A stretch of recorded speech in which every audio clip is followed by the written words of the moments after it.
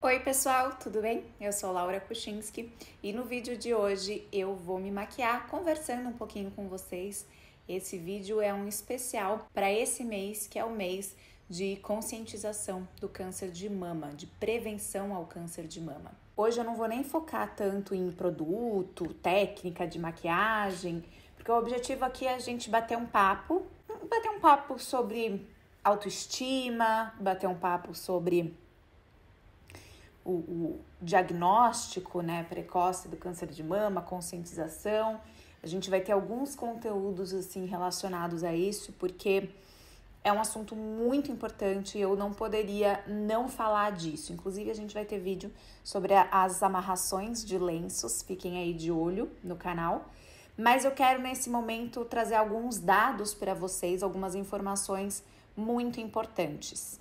Enquanto for conversando, eu vou me maquiando. O objetivo não é assustar ninguém, e sim conscientizar, porque o fato é que quanto mais cedo se descobre um câncer, maiores são as chances de cura, né, de sucesso no tratamento. Vou aqui passar a base.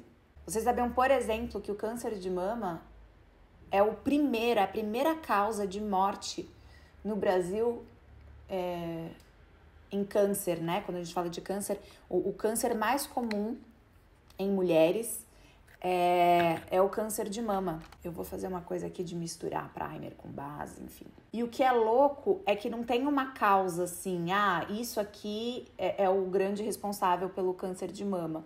São vários fatores que podem influenciar. Genético, questões hormonais, é, até fui pesquisar, tem uma médica que diz assim: o, o, simples fato de você ser mulher e envelhecer já é um risco, né? Então, assim, tem que cuidar.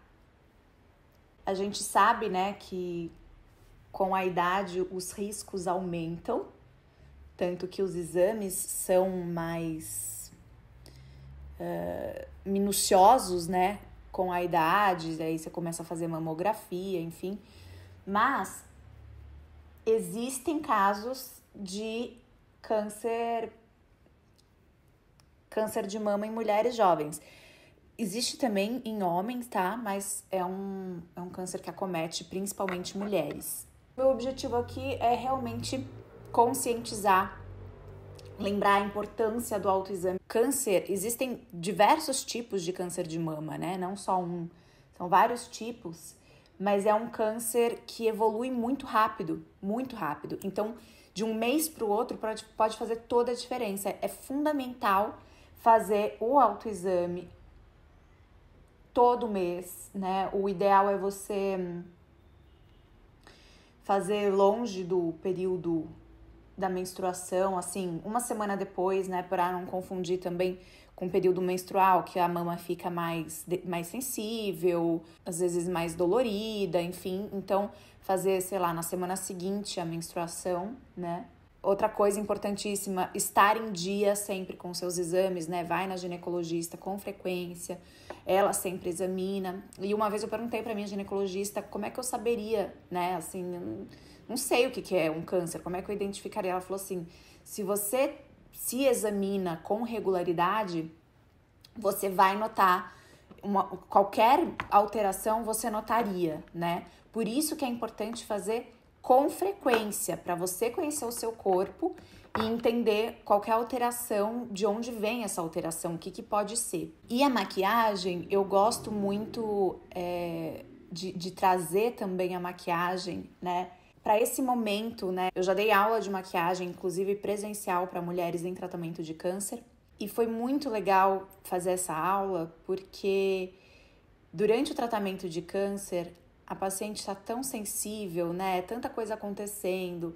São dores, mal-estar, indisposição, medo. É tanta coisa que é natural deixar de lado, acabar deixando de lado preocupações estéticas, enfim. Mas as mudanças acontecem, né? Então, muitas vezes perde o cabelo, porque isso vai depender do tratamento, né? Mas muitas vezes você perde os pelos, né? Cabelo, sobrancelha, cílios. E, e se ver ver o corpo modificando é muito difícil, né? Imagino que seja muito difícil. Então, esse momento de sentar, né? Na época não estávamos numa situação pandêmica, então foi presencial. Sentar com as meninas, fazer a maquiagem e, e ver, sabe, elas naquele momento em que estavam olhando para si mesmas com cuidado, com carinho, dispostas a fazer uma maquiagem, né, a fazer um algo por elas mesmas que não só ficar se preocupar com a questão da saúde, né, que é claro, fundamental, mas assim, quase que um momento de respiro foi muito especial. E aí, nesse momento pandêmico, eu fiquei pensando como eu poderia abordar, né, ou, ou trazer esse conteúdo e, e acho que o YouTube, um vídeo aberto, gratuito, é a melhor forma, né, porque cada um pode acessar da sua casa, não precisa ter um número restrito de pessoas, enfim. Então, desenhar a sobrancelha, inclusive, é uma coisa que pode ajudar. Esses, esses produtos assim, ó, fininhos, são legais porque você consegue desenhar os pelinhos. Só uma curiosidade aqui, é, muitas vezes quando se perde a sobrancelha, você fica sem nada, você fica sabendo como é que eu vou preencher uma sobrancelha que eu tô, eu não tenho uma base, né? Algumas medidas que podem te ajudar. Quando você une a abinha do nariz aqui, ó, ao cantinho interno do olho, numa reta, esse é, aqui começa a sobrancelha, então você pode começar a fazer os tracinhos daqui, né? É, quando você une o cantinho da boca, a pupila, a gente tem mais ou menos, são medidas aproximadas, né? Mais ou menos o arco, o ponto mais alto da sobrancelha. E o canto da boca ao canto do olho, você tem o final da sobrancelha. Então você consegue traçar aí uma sobrancelha e esses produtos fininhos são ótimos porque você consegue desenhar ali os pelinhos, né? É natural também ficar mais pálida, então eu acho que bronzer, blush, são, são produtos interessantes de se usar, porque eu vou deixar aqui na descrição do vídeo algumas. Um, algumas pessoas, né, que, que falam sobre o assunto e que podem ajudar você que está num momento de tratamento, né? Algumas pessoas, alguns perfis que eu, que eu acompanho e que podem te auxiliar aí nesse momento. É, cuidar do, da saúde de forma geral é muito importante. Tem uma pessoa que eu gosto muito, que é inclusive uma amiga, assim, é, e ela, ela é professora de educação física, mas ela se especializou em exercício físico no tratamento de câncer. Então, nossa, é incrível. E ela, e ela tem compartilhado um conteúdo muito bacana. Eu vou deixar aqui o Instagram dela para vocês conhecerem. Tem também a Gil, que eu conheci por meio da internet, que é, é, ela foi diagnosticada com câncer de mama aos 21 anos e ela venceu o câncer de mama. E ela tem um conteúdo muito bacana, tanto que ela compartilha a experiência dela, quanto tricô, ela faz tricô, foi assim que eu a conheci. Ela faz, uh, começou, ela tem um projeto que ela faz gorros de tricô para pacientes que perdem os cabelos e no frio, no frio sofrem, né? Porque sente, falta o cabelo, além de uma questão estética, claro, você sente frio na cabeça. Então, ela faz esses, essas toquinhas, né? E, enfim, e ela é, é, é, uma pessoa que eu gosto muito de acompanhar. Como eu falei, eu não tô me apegando tanto aos produtos, né? Mas eu tô fazendo umas coisas mais diferentes. Vou misturar blush com iluminador para trazer um glow.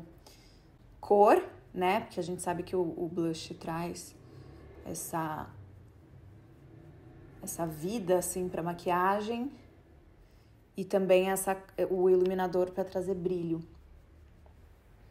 Vou aqui fazer um olho rosa, né? Em homenagem ao outubro rosa. Eu vou começar com uma sombra cremosa. E assim, gente, o meu objetivo com esse vídeo não é alarmar, sabe? Não é deixar todo mundo desesperado. É realmente conscientizar, porque um câncer descoberto precocemente, nossa, ajuda demais no tratamento, demais, demais, demais. A cura é muito mais fácil, né? E, e o que, que é importante você ficar de olho, né? No, claro, no autoexame apalpar e sentir algumas, tem qualquer alteração, mas algumas coisas, não quer dizer que qualquer um desses sintomas significa um câncer de mama, tá? Mas algumas coisas importantes de ficar atenta. Por exemplo, se tem algum nódulo, né, algum caroço, se é importante você se olhar no espelho e observar se não tem nenhuma irregularidade, né? É, e aí, claro, não tô falando de tamanho de mama diferente, porque é natural, todo mundo tem uma um pouco maior que a outra. É, mas assim, uma alteração um pouco mais visível, né? Mais aparente, é bom ficar de olho.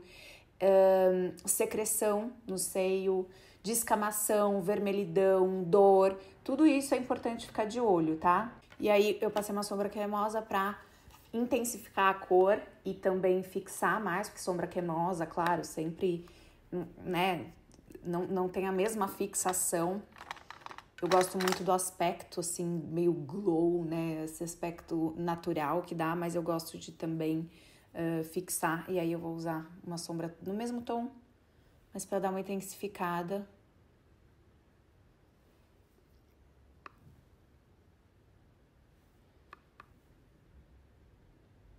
Então, assim, gente, não quer dizer que porque você tá com o seio sensi mais sensibilizado que é câncer. Não quer dizer que porque tem uma secreção é câncer. Pode ser tanta coisa. Não quer dizer que é um, um carocinho é câncer, né? Existem nódulos que são comuns principalmente em mulheres mais jovens, né? É, por conta de hormônio, enfim. Mas tem que cuidar, tem que ir ao médico, tem que ficar de olho, tá? Compartilhar uma coisa com vocês, eu já escutei muito, né, de, de pessoas em tratamento de câncer relatarem que perderam, né, a autoestima foi pro beleléu, perdeu a vontade de se arrumar, enfim.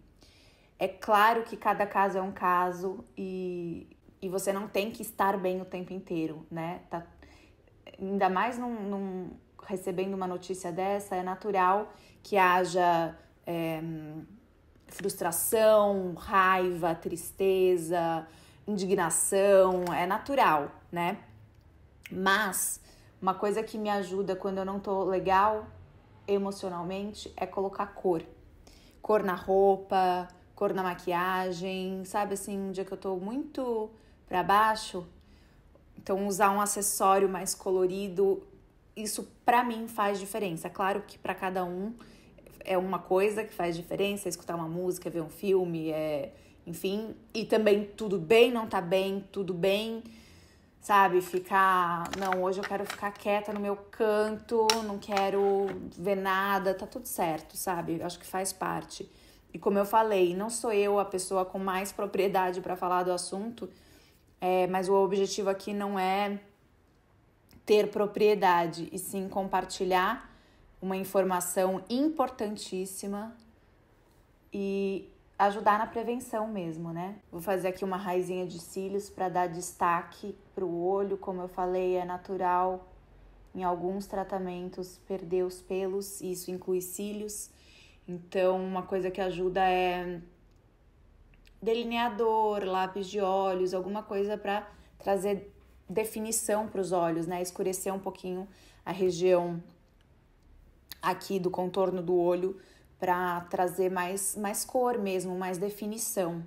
Você pode, claro, usar cílios postiços se você quiser. Uma corzinha nos lábios. É, esse produto que eu usei no olho. Eu gosto dessa coisa meio monocromática. Mas eu quero te fazer um convite para você pegar um dia que você consiga, que você esteja disposta né? é, e fazer uma maquiagem e ver como você se sente. E eu falo isso porque, como eu falei para vocês, a experiência que eu tive de ensinar maquiagem para mulheres em tratamento de câncer foi tão foi uma experiência tão transformadora, né? E, e para mim de, de vê-las, acompanhar o processo e para elas, a alegria delas ao se olhar no espelho, ao recuperar a autoestima. E não só a questão estética, mas foi um tempo que elas tiraram para elas, para fazer algo por elas. Fora a sensação maravilhosa que a gente tem quando a gente faz qualquer coisa, né? Que a gente às vezes não tem tanto o hábito de fazer, e aí você faz e fala, não acredito, olha o que eu fiz. É, eu sou assim, por exemplo, quando eu vou cozinhar, eu falo, hum, olha aqui o que eu, o resultado do que eu fiz, né? Vou passar um glossinho aqui para dar um tchan.